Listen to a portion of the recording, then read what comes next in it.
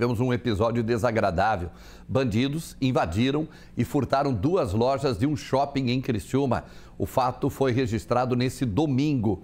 E quem vai trazer detalhes para nós é a repórter Raquel Schneider. Caso que está chamando bastante a atenção pela forma como esse roubo, esse assalto aconteceu aqui no shopping que fica no bairro Próspera, em Criciúma.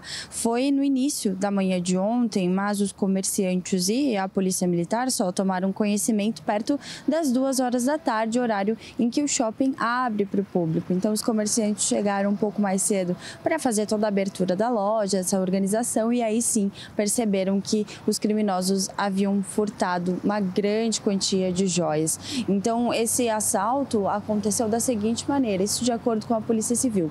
Pelo menos três homens conseguiram entrar no shopping e aí eles acessaram uma joalheria pelo forro de uma loja de roupa vizinha. Então aconteceu alguns ah, danos estruturais para que eles pudessem acessar essa joalheria pela loja que fica ao lado e aí eles levaram todas as joias de ouro que estavam expostas nessa joalheria. A gente não tem ideia de quanto foi esse prejuízo, no valor que significa esse furto, mas a gente entende que é um valor muito alto e conseguiram fugir sem problema algum. Só foram perceber de fato que esse crime tinha acontecido no momento de abrir a loja. Então as investigações agora devem dar conta, né, de como foi que os criminosos acessaram o shopping, como é que eles conseguiram entrar na loja, fazer esse grande furto sem ninguém perceber, não ter acionado nenhum tipo de alarme, também seguranças não estarem a par dessa situação. Em nota, o Nações Shopping informou que está contribuindo com as investigações e é claro que também há esse interesse em descobrir